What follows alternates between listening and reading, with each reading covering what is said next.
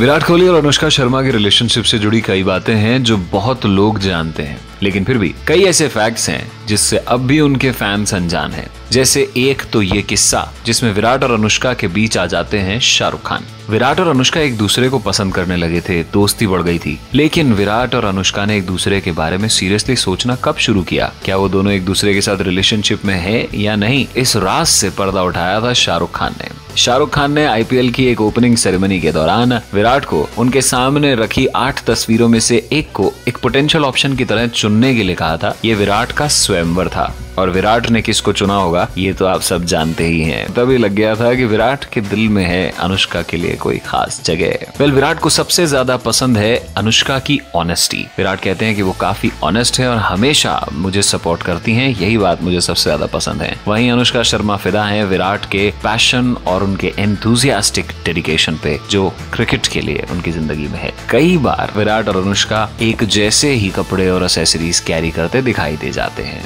विराट और अनुष्का के रिश्ते की एक खास बात है और वो है विराट की दाढ़ी। कई बॉयफ्रेंड्स को ये प्रॉब्लम होती है कि उनकी गर्लफ्रेंड्स उनकी दाढ़ी को हमेशा मना कर देती हैं और उनको अपनी दाढ़ी शेव करनी पड़ती है। पर विराट के साथ ऐसा नहीं है। विराट ने एक बार अपनी बियर्ड वाली पिक्चर ट्वीट की थी, जिसपे उन्होंने लिखा था sorry boys Hardik Pandya and Rohit Sharma I am not ready to break the beard yet great job on the makeovers though जब उन्होंने ये ट्वीट किया तो वहीं अनुष्का शर्मा ने कमेंट किया था यू कैन नॉट यानी साफ़ साफ़ अनुष्का ने कह दिया कि अब विराट शेव नहीं कर पाएँगे। तब से विराट ने अब तक शेव तो नहीं की है। अभी दोनों साथ हैं, खुश हैं और बहुत ही जल्द हो सकता है इनकी शादी भी हो जाए।